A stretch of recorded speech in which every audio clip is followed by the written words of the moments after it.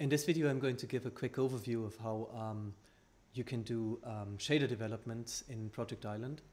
Project Island is written for rapid prototyping and tweaking, and that means that anything that you write in code should be hot reloadable, and that also extends to shaders. And um, when I say shaders, I'm not just talking about fragment shaders, I'm also meaning um, vertex shaders, uh, geometry shaders, um, tessellation shaders, and even the more exotic ones like um, the ones that you can only get with modern APIs like Vulkan, like uh, RTX uh, ray tracing shaders and NVIDIA mesh shaders. They're all available um, in a hot reloading environment within Project Island. To keep things simple and to keep this video relatively short, I'm going to focus on um, fragment shaders for now. Um, I'm going to do this by uh, setting up an app that has a full screen quad and uh, for this I'm going to use the project generator. In the very first video I did, I um, described how to use the project generator, so I'm not going to repeat myself too much here, but um, I would invite you to take a look at it um, if you're interested. Um, the one difference from uh, the first video is that this time we're going to use a specific uh, template and um, we're going to specify it at the end of our command line here, creating a new app inside of our apps demo uh, folder. We're going to call this app um, shader, which is what's specified with the A parameter, and then uh, dash T for the template name, and the template's called quad template. This will use the quad template to create the boilerplate for an app that uh, renders a full screen quad, um, which is um, drawn using a fragment shader and obviously a vertex shader as well. Okay, let's take a look at what we got. Um, and um, we're going to open what we just created using Qt Creator. Um, and um, let's take a look. Let's open the CMake file um, that was just created um, as a project file. we will configure it using Clang. You could just as well use GCC, but I prefer Clang. and let's take a look at what we got here. So it hasn't, uh, hasn't uh, opened it completely, so we need to run CMake once more. Once we've done that, uh, we can see that in here, uh, this is our app, and in here, this is um, Project Island, which supports our app. The most important file in our um, uh, app directory is the one that's uh, called shader underscore app.cpp, which is the um, file that contains the code that actually renders to screen. And the function that does the rendering is called um, pass main exec, um, which is uh, the callback that gets called um, by um, the render pass once the render pass draws. And what that um, callback does, what that function does, is that it uh, binds a graphics pipeline and um, the pipeline um, is created a little bit earlier inside this uh, function. The pipeline is called um, full screen quad and it's built based on two shader stages. One is the um, vertex shader stage and the other one is the fragment shader stage. The um, shader stages themselves, again, are built um, based on source files and the source files are named here. So the source file for the vertex shader stage is called fullscreen.vert and the um, source file for the fragment shader stage is called fullscreen.frag. Um, we can find these files by looking into the directory of um, our app. So let's take a look. Uh, our app lives in Island Apps, Demos, Shader, uh, and then our um, directory where the shaders live is in Resources Shaders, and um, and that's um, full screen vert and full screen frag. So these two files. Um, I think we, um, we best open them using a text file just to see what's in there. So um, let's take a look. And that's, um, that's uh, the fragment shader. And um, uh, I think the best way to, to see what's actually happening is to run the app. Um, but I don't want to uh, have the app cover the whole screen, so let me just really, really quickly change the parameters. So what I've changed here is the parameter for the width and the height of the default window. So once the app starts up, um, it will have 200 pixels by 200 pixels. Um, let's see if that's correct. Let's compile um, everything.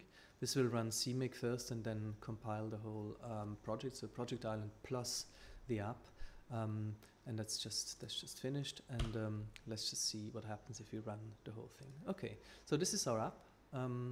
It's 200 by 200 pixels wide as we specified and um, it does uh, seem to have some mouse interaction and it's also got um, animation happening.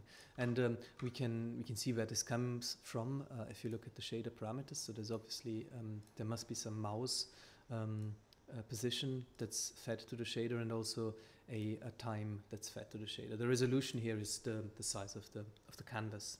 Um, Okay, so let's see how, how we can change this this um, this shader. Um, if we, I mean, the, the simplest way to change a shader and, and, see if something happens is to just make it red, right? That's, that's like a, a sticks and, and stones in, in kind of shader debugging, um, and, uh, and, and and and and always kind of works. So let's just see what happens if we if we just say we want this thing to be uh, red.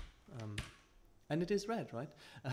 Um, the only thing we get is a uh, an invalid argument name params, which is which is mm, which happens because uh, actually this um, this struct here, these these uniforms are not used at all because um, because they're optimized away.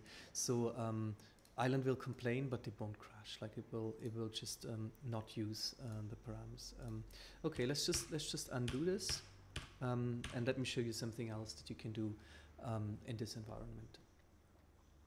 A nice thing in Island is that um, it, it, it, does extend um, uh, the, the way you can work with shaders uh, slightly because it uses, under the hood, it uses uh, Shader C, which is a, um, um, a shader compilation library that uh, Google built on top of uh, GLSlang. And that also allows uh, to use includes, uh, which is something really nice. So let's say we, we wanted to have um, a file that has some helper functions, like for example, a helper function to draw a circle. Um, and we wanted to have this file um, named uh, circle.glsl. And um, at the moment it doesn't exist in the shaders um, directory, so we need to create it first. So let's um, create this file. And um, as in any good cooking show, I've already prepared it, um, so um, we don't have to, you don't have to watch me uh, type all that. But um, basically, what this um, what this file does um, is it is it provides us a uh, a method that um, actually draws a, a circle. let's just save this as circle.glsl in the same folder as the folder where our shaders live. And that would allow us, I think, to include it um, as an include. Um, so include and then shade, uh, sorry, circle.glsl. Uh, and we save it. And uh, if you look closely at our log file, we see that um, the uh, circle.glsl has been included, has been loaded. Um, and the pipeline has been regenerated. But there hasn't been a much uh, much impact on, on what we see on screen because we've actually haven't used anything from from this file, right? Um, so let's use let's use that um, that method that this file gives us, the method uh, circle, to draw a circle. Um, so what we can do is um, instead of using um, the, the mouse to draw the circle, let's just draw it programmatically um, and, and just put it somewhere on screen, right? So um, we say highlight, we override this variable in effect, uh, equals uh, circle, and then let's just check the parameters for circle. So it wants the center of the circle, the radius of the circle, and then pos, that's probably the position of the current um, fragment. Um, uh, or the texture coordinate of the of the current uh, fragment. So that's st would be the last um, parameter, because that's um, that's based on the texture coordinate. And then we want the center of the circle that there will be a vec2 um, let's put it at the center so that there will be 0, 0.5 um, 0, 0.5 and then the radius I think um, is between 0 and 1 so let's let's give it a 0 0.2 um, value so that it's so that it's um, not too small but also not too um, not too big. Okay what have we done it didn't like it. Um, uh, we forgot um, uh, something, probably a semicolon. So yes, uh, so let's do that, and that seems to have worked. But uh, we still can't see a circle. But um, that's I think that's kind of obvious because um, because it hasn't uh, been added to the the final color that's uh, rendered on screen. So let's do that.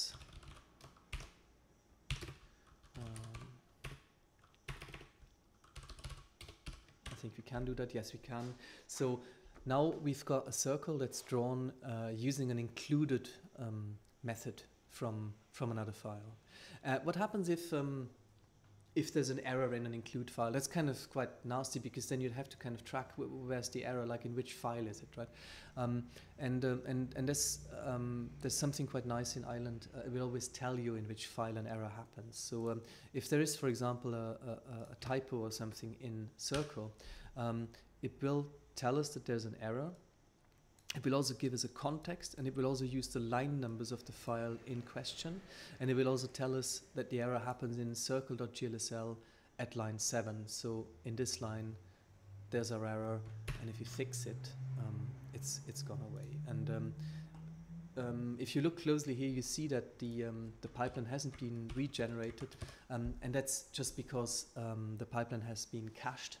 And Island detected that nothing's really changed since um, since the last um, working version of this um, shader, so it didn't even have to compile the pipeline in the background. It just used one version that it had um, from before.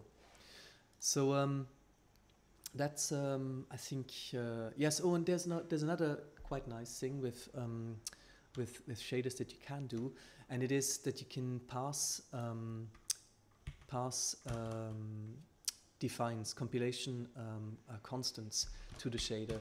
So let's say um, you have a, a, version of this uh, shader that you um, want to try out. Let's say you have two different versions of the um, of the main function, for example. So let's say we we compile uh, we we copy this and we we make it dependent on a on a compilation uh, uh, uh, on a on a define. So let's say if def um, use uh, default main, then use this main function. Um, else use use the other main function, and uh, and obviously you have to you have to uh, bracket it with an endif. So uh, so that's that's gone well. And um, I mean, at, at, the moment we won't see any difference, right? So um, so let's just let's just uh, make sure that um, that um, we see a difference. Um, and uh, let's have the, the default version just um, output a red, uh, a red uh, a color, um, a full screen red um, uh, quad. So that's that's happening, right?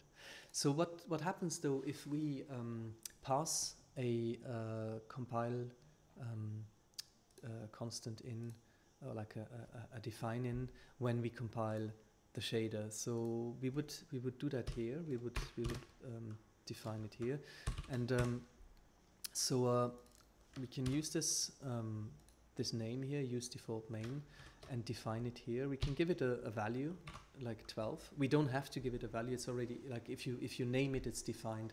So that would be enough to trigger it. But um, let's just see what happens. So we save this, and then we have to recompile Island uh, the the app. Uh, but by recompiling it, the shader also gets recompiled and it also gets um, this define inserted.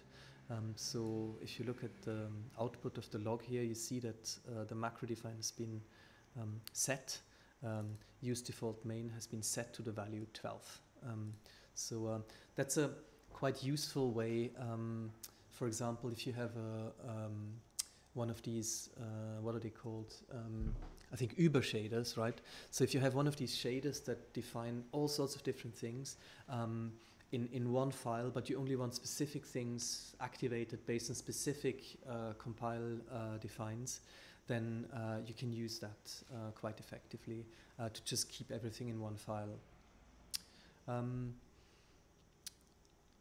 and I think that's um, that's um, about it. If you um, want to um, to dig a bit deeper into how shader um, fragment shader um, effects work, I highly recommend to take a look at um, the uh, the book of shaders, which is an amazing resource um, by Patricio uh, Gonzalez Vivo and Jen Lowe. I, I hope I pronounced their names correctly, and it gives you a ton of uh, resources and ideas uh, for how to uh, draw with uh, fragment shaders. Um, there's some really really cool stuff in there, um, and um, the um, the shader editor in here is really really amazing too. So if I think um, let's take a look.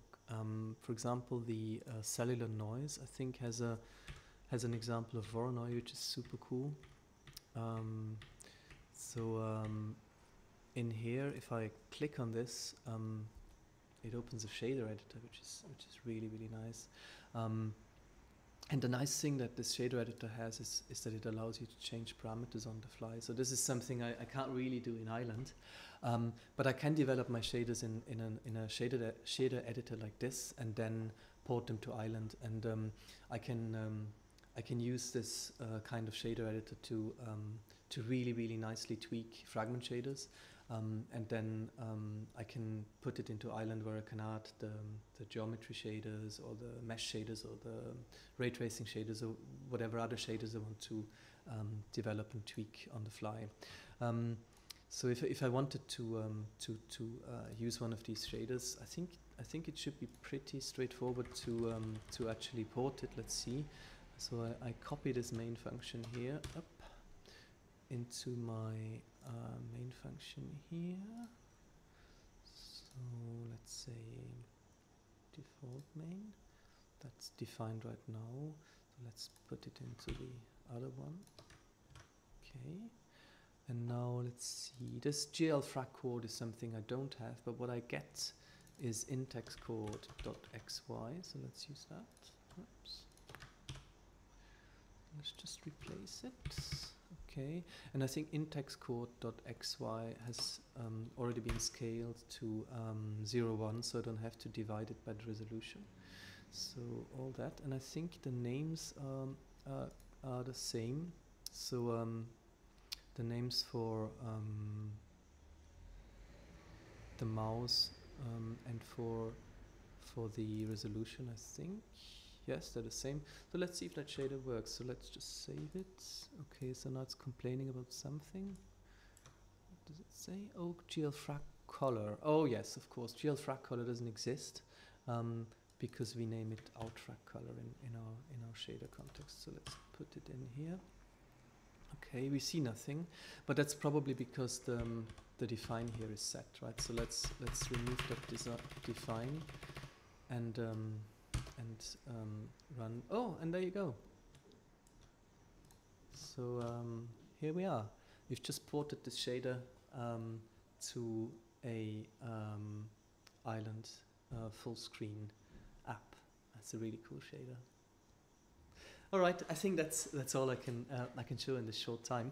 Um, but um, yeah, I think I'm going to do another uh, one of these videos relatively soon, um, where I'm probably going to focus on the 2D drawing abilities that come with Island.